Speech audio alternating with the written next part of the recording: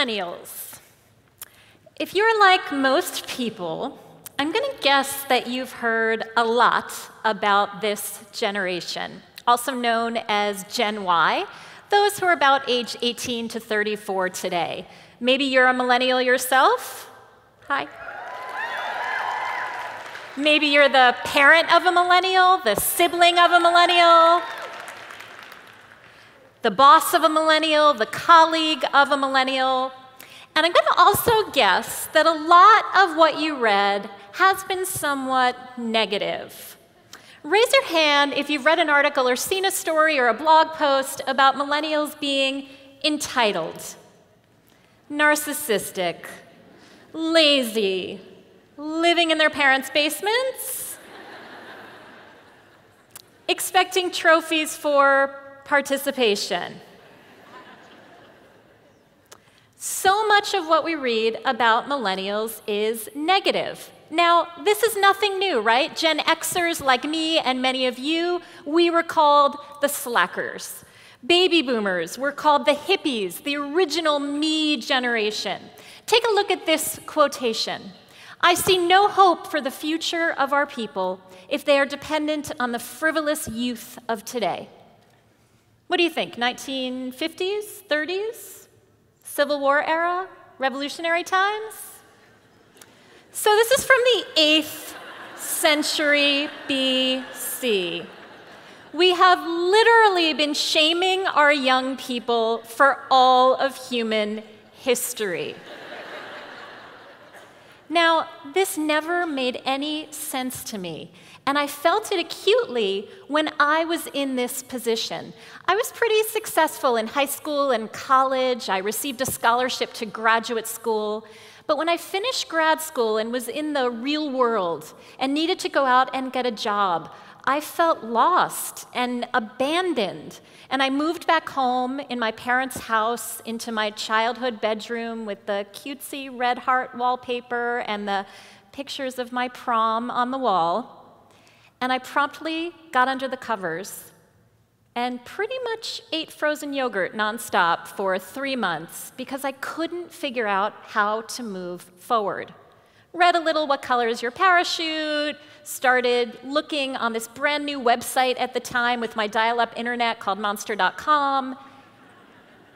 And what I learned is that staying under the covers and eating pint after pint of frozen yogurt is not a good early career strategy. But I didn't know what else to do. Until finally one day, an old internship manager of mine called me and invited me to lunch. And she said, I so remember being in your shoes. It is so hard to start out.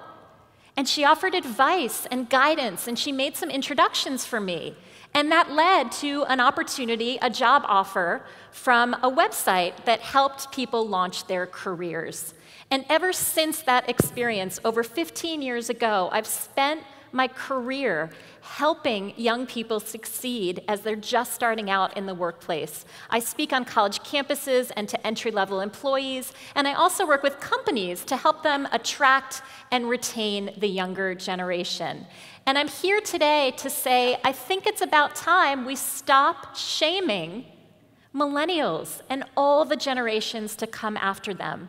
What would happen to our companies, our communities, our country if we supported young people instead of shaming them. And I think this is more important today than ever. Millennials, today's youngest generation in the workplace, is now also the largest. Millennials are also the largest generation in our country overall. By 2020, millennials will be about 50% of our workforce.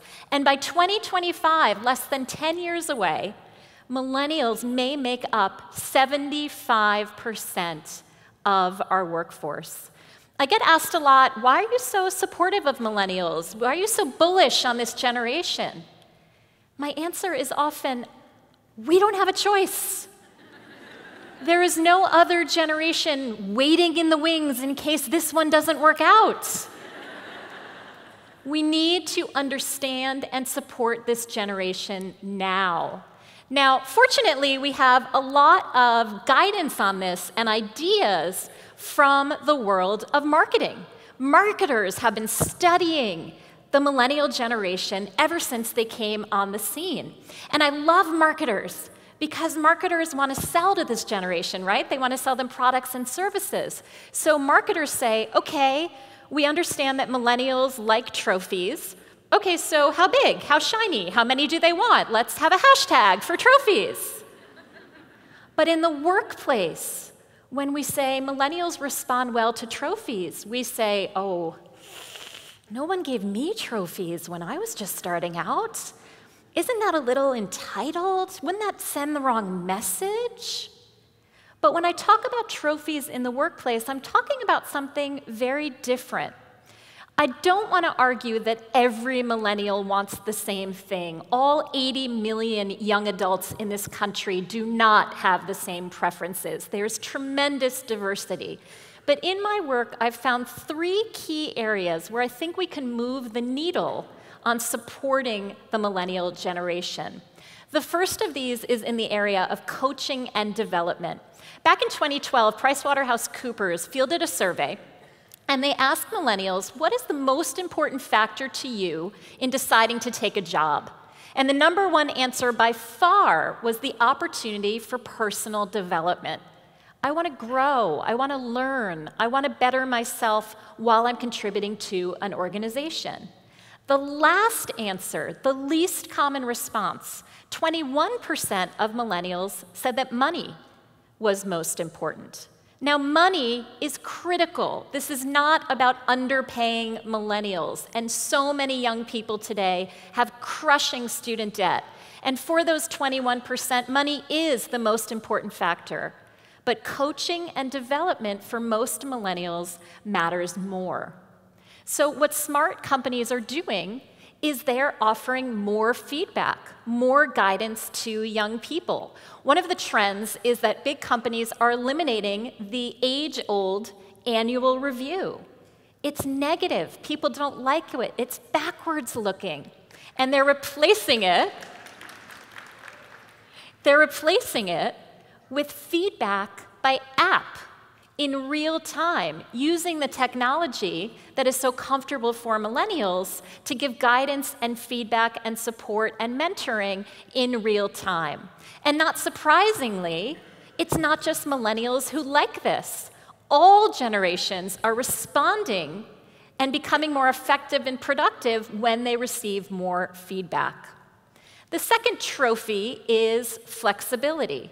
We all know that nine to five at a desk in the same office for 40 years until you retire with the gold watch is over.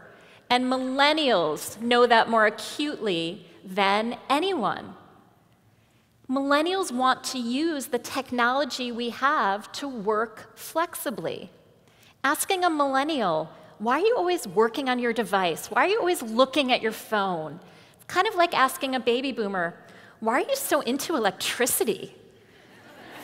Why do you plug things in all the time? You always need an outlet. When you've come of age with that technology, you want to make use of it.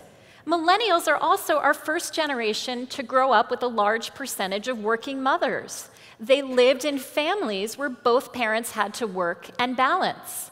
Millennials also have seen many of their parents or their friends' parents or their neighbors lose their jobs in the Great Recession after sacrificing so much family time to build their careers and build their nest egg. They lost it anyway because of the economy. I think millennials are so aware that nobody says on their deathbed they wish they had spent more time at work. Isn't it a good thing that we have a young generation who learns that in their 20s rather than later in life? And finally, transparency and purpose. When you've grown up with social media, you expect that you will know everything that's going on, that you will have all the information at your fingertips. But one of the biggest complaints I hear in the workplace is from employers who say, you know, this generation, they don't want to do grunt work. They don't want to pay their dues. And what a lot of young people say to me is, well, I'm willing to do anything, but not because it's always been done or because someone says, I told you to do it. I want to know why. So, when we take the time to explain to young people, this is why this work matters, this is why I'm giving you this assignment, this is why this project takes a certain amount of time, that resonates with the millennial generation. Now, I have a feeling some of you may be feeling a little bit resistant to some of these suggestions, especially Xers and boomers who didn't get this kind of treatment when we started out in the workplace. So I want to tell you a story from the world of football. I read an article a few years ago with the coach of a college football team who made it all the way to the championships. And the Wall Street Journal did an article asking him about his leadership style, what had made him a successful coach. And he said, I've been in football my whole life, my whole career. But I realized that this generation of players, millennials, they seem to be different. They don't respond to yelling, they don't respond to punishment. And he said, I realized I had to change my style in order to get the results I wanted. He said the fundamentals did not change the hard work, the stamina, the physical drills, the weightlifting, the importance of being on time, of being an ethical player, a good sport, that never changed. But he said, we changed our coaching style. We implemented a no yelling rule. We gave every player a mentor so they could discuss their challenges with someone they trusted. We shortened player meetings so that the players would have more time to check their phones or count their Instagram followers. And not surprisingly, the football establishment reacted very strongly and said, Are you kidding? You're coddling them. You're going to make them soft. This is football. And the coach said, We're winning. So the question in any organization is do you want to do what's effective, what works, what helps you win?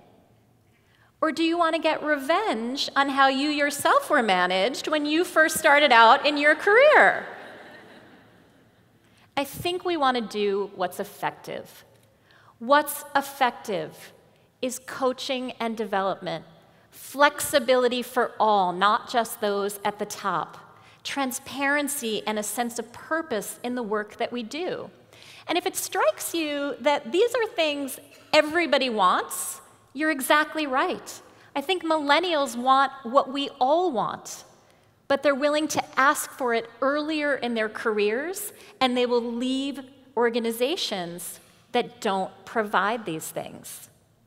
So, what would happen if each of us did for today's young people, our future leaders, what my internship manager did for me all those years ago? What would happen if we supported millennials instead of shaming them, if we supported them wholeheartedly, unabashedly, enthusiastically? Let's find out. Thank you very much.